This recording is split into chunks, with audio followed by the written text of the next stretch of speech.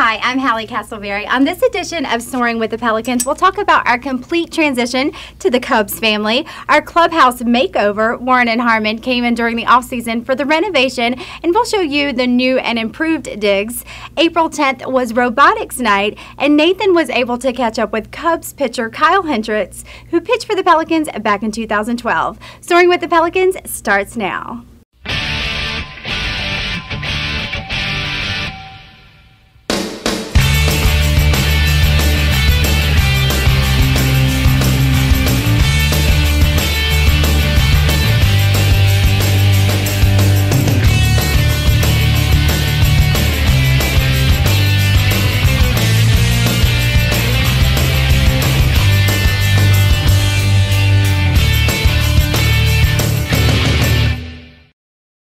Year, the Pelicans switched from being affiliated with the Texas Rangers to being affiliated with the Chicago Cubs. Let's go to General Manager and Vice President Andy Milovich for more on the transition. The opportunity to partner with the Cubs was a great opportunity for the Pelicans and, and really for the Grand Strand as a whole. Um, after four successful years with the Rangers, we were incredibly excited about the number of teams that showed an interest in coming to Myrtle Beach and affiliated with the Pelicans. And had our pick of the litter, really. Ultimately, the Cubs represented a national brand with a major fan base that's passionate and follows and travels well. Uh, the best farm system in baseball, an organization on the cusp of becoming one of the leading franchises in Major League Baseball. And uh, the timing just aligned itself perfectly. It's a, uh, you know, it's a tribute to, to Theo Epstein, Jed Hoyer, um, everybody affiliated with the Cubs organization that they've built this farm system this quickly and this significantly to become the top organization in baseball. And um, you know, to to not only have the upper level prospects that are making their way to Wrigley Field right now, but to have the the Kane County franchise from last year feeding us that had the best record in all of baseball. It just speaks to the uh, the quality of people that they have throughout their system and the quality of people that they're drafting. And um, you know, I think the uh, the Cubs have an incredible farm system, an incredible collection of talent, but they also have great people.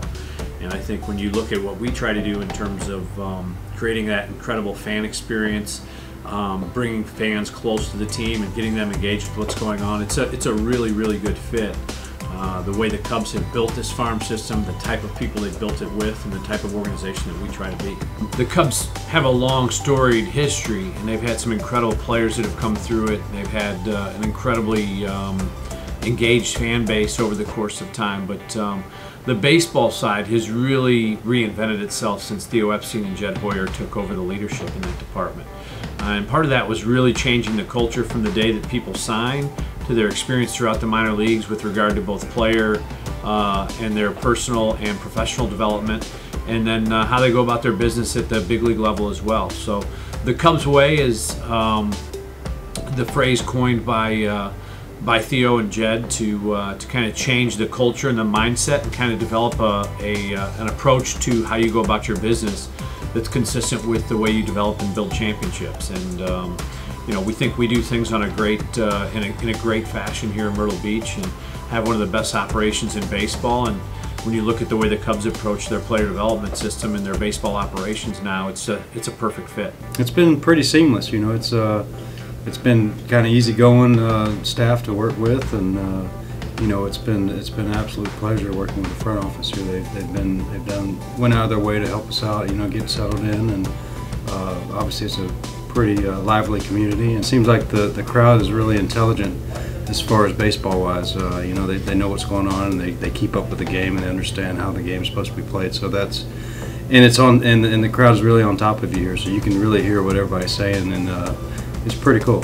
Well, I think the Cubs are, are one of the three or four teams in Major League Baseball that are truly national brands and national teams. And uh, part of that's being, uh, you know, the north side of Chicago, Second City, uh, having the great players that have come through there from Banks to Jenkins to Sandberg and you name it uh, up and down the, the history of the Cubs. There's uh, there are Cubs fans throughout the Midwest and now Cubs fans throughout the country and um, certainly we've seen a, a, plethora of Cubs fans in the ballpark already in the couple of weeks that we've been playing and uh, I think it's one of those things that's going to continue to grow as more and more Cubs fans learn about us and more and more people throughout the Midwest plan their summer vacations and come to Myrtle Beach and uh, I think from our perspective, it's a marriage made in heaven. Pretty much everywhere you go, when you when you have, when you wear the, the Cubs emblem on your shirt, you know it's a, it's a special thing, and, and you feel a sense of pride because there is such a, a vast uh, fan base and, and support from you know people across the, the country and the world. Well, I think the Cubs have a long storied tradition, and Wrigley Field's on the bucket list of any uh, you know big sports fan. So, uh, recognizing some of the things that have made that tradition and that mystique uh, come to life in Wrigley Field on the north side, uh, we wanted to do some things to really put a Cubs spin on what we're doing here at the ballpark. So, uh, you know, rebranding the Ring of Fire Grill as the Clark and Addison Grill. And, not only cleaning up the outside of it and making it uh, really take on a, the feel of the Chicago Cubs. We've we've introduced some new food items. Uh, we've themed some of those food items in the names of Cubs greats. We've introduced uh, the Italian, an official Italian beef sandwich. Uh, we've introduced the Chicago style hot dog, uh, and then we've added things like the. Um, uh, flagpole where we raise the W flag after every game. The Grissom Plaza has be, been rebranded. Uh, we now have the Ivy with the Cubs dimensions and uh, the marquee there. And uh, we've got some great promotions and things in the works that tie into the Cubs. Everything from the taking out, take me out to the ball game during the seventh inning stretch to Christmas vacation in July and, and some Ernie Banks tributes. So it's a, it's a lot of fun. The Cubs present an enormous opportunity to do some things promotionally that tie back in and really help deliver a full experience for Cubs fans that are visiting the ballpark.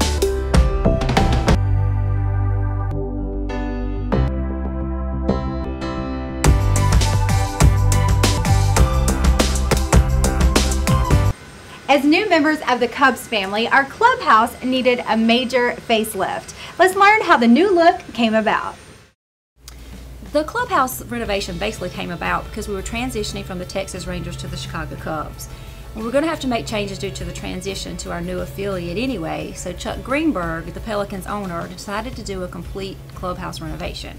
Now, I've never been involved with a clubhouse renovation before, so I was not sure what to expect. I went online and I searched uh, commercial interiors in Myrtle Beach, and I decided to call the first couple that came up. We were so excited when we got the phone call about the uh, renovation that was needed here at the at the stadium. Uh, we've always loved the Pelicans. Uh, they are a part of the community, and it's just great to have a place where people can come and they can uh, spend time as a family. The first company I called came out and looked at the clubhouse that day. The next day, they had a complete proposal and renderings of what the clubhouse could look like. We were blown away. A lot of the design, I will tell you, was done by uh, uh, Whitney Nelson that works with us. She is the she's the uh, lead designer. I'm kind of the the I, I own the company and and and I'm kind of more of an upfront person, but but she her design had to do with with baseball itself, and uh, a lot of what that we did was was in in in coming up with the design we had a thought. Then when we came in and saw actually and found out what all it took, we did the design change a little bit because it, it was it was different. For me personally, um, designing commercial spaces, the more creative a project is, the more passionate I am about it. And for this type of project, it was really just out of the box. And so, thinking about baseball and creating the feeling for the players that inspires them. Um, with the space, I initially went to the locker room. The clubhouse had not seen a renovation since it was built in 1999.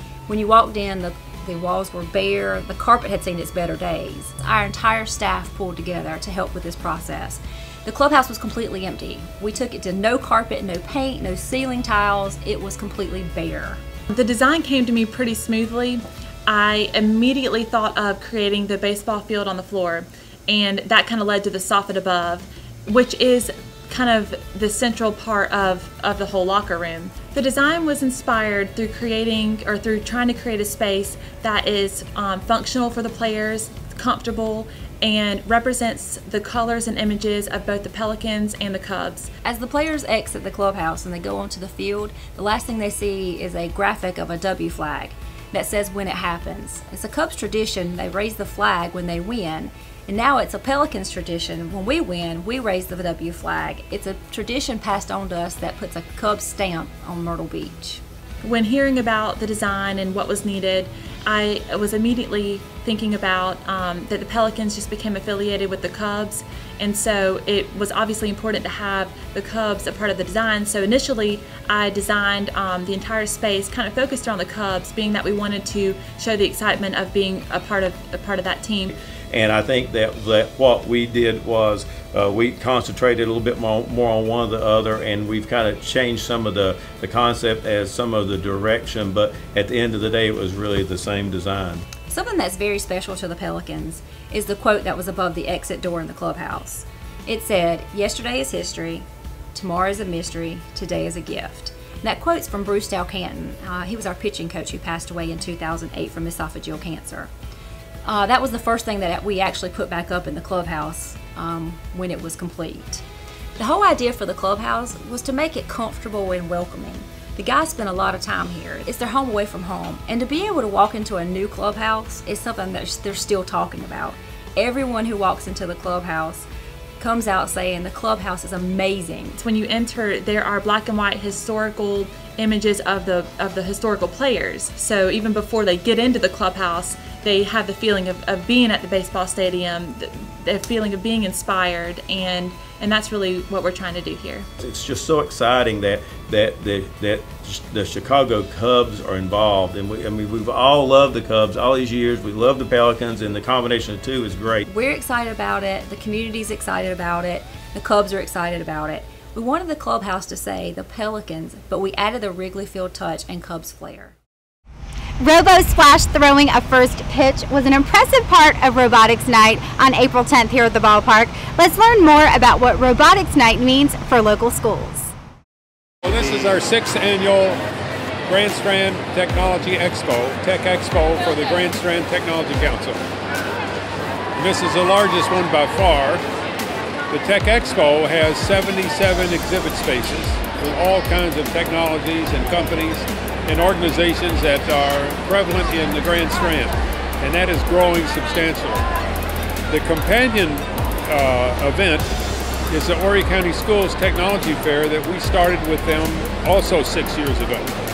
And that's grown the first year about 250 students from third grade through high school with their projects and demonstrations.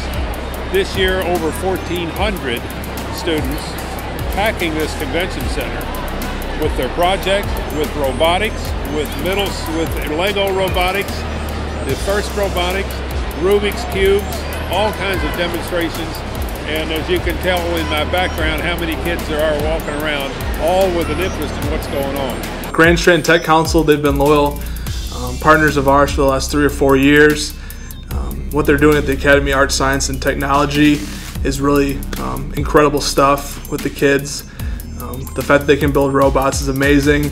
They're going to be the future leaders um, in this country with the advancements they're making in technology and the things that they're doing. Um, we're using that um, the Pelicans to raise funds for them, um, show off their robots in competitions and different awards. They're, um, they've won numerous state titles in different robotics competitions. the Grand Strand Tech Expo, run by John Sanders, has really grown over the last couple years, and it's uh, turning into quite an event at the uh, convention center. So we're looking forward to Robotics Night, third annual this year. Uh, this year it'll be in the spring, and fortunately it's uh, opening weekend, so it should be a fun night. It's also better for the schools because they will have been in session and all the robotics contests and so forth are over with. But everything went well. The kids got to show off what they do. Not a lot of people are familiar with what they do because their schools, if they travel from out of town, don't have um, those kind of departments. Most schools don't have them. Um, Horry County is one of the leaders in that department, which is a good thing for students coming out of those schools. There, first of all, there are all kinds of contests. There's, here behind me is the Rubik's Cube. I probably have 200 kids doing the Rubik's Cube in 30, 45 seconds. I've been trying to work on it for 50 years and I haven't even solved one yet. So these things offer them hands-on doing projects and doing, coming up with solutions to problems. So these kids make already very good interns at these companies. Some of these companies have two, three, four high school students as interns. I'm not aware of any of them that have lower grades than that, but there are some good coders in middle school. They can code for the apps on the smartphones. So this is moving down the food chain in, in age as these kids move up the food chain in technology. So they're already doing in middle school. Well, of course, when I was in school, it didn't even exist, so it doesn't matter. So I think that's a lot of the uh, success of what's happening. This is one of the fine teachers in Lakewood Elementary School that does a lot of technology. And are you going to have students at the Pelicans night? Yes, from our school, we bought 70 tickets. So are we going to do that again this year? Yeah, always. So what, what result has come from that for, uh, for your students? Uh, everybody in the school wants to be in robotics, and there's not enough spaces, and we don't have enough money and enough equipment, which is why we like to do things like this and, and ask for people to donate. so anyway, there's tremendous support for robotics, and I think this will feed over for the Pelicans, and the reverse also happens. So we really appreciate working with the Pelicans. They're advancing their careers. They're taking internships uh, in the in the fields that they want to work in in high school, which is a lot sooner than most kids are doing. So they're they're kind of taking their professional careers to the next level before they get to college. And we appreciate the hospitality from Pelicans too, letting all our kids come. They have such a great time. Yeah, I look forward to it with two things. Number one, it's a lot of work. Number two, it's a lot of satisfaction. So uh, this year, the satisfaction outweighed the work because after six years, with 70 some exhibitors, 50 come back almost automatically. So you really are only selling to a new 15 or 20. And that's just a matter, you know, I grew up being a door to door salesman selling typewriters and Bibles. It feels great to have a former bird pitching for the Cubs. Let's see what Kyle Hendricks and Nathan had to chat about.